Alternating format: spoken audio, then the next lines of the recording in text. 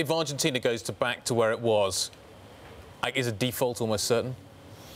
Uh, I wouldn't say it's almost certain. I mean, I as I said, we, we don't know Fernandez's details right now. I, it would be difficult for me to imagine how he would be happy for the economy to lose money, uh, for the bonds not to be rolled over right now, and then take over an economy which is effectively bankrupt.